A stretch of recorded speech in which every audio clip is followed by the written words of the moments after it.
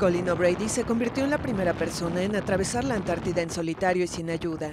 El aventurero estadounidense recorrió 1.600 kilómetros en 54 días en una ruta de norte a sur.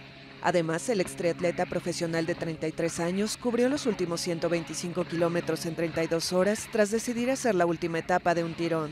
Su posición, definida por un GPS, era indicada cada día en su sitio web colinobrady.com. O'Brady salió del glaciar Unión en la Antártida el 3 de noviembre en competencia con el británico Louis Roth, un exmilitar de 49 años. Cada uno tomó su camino.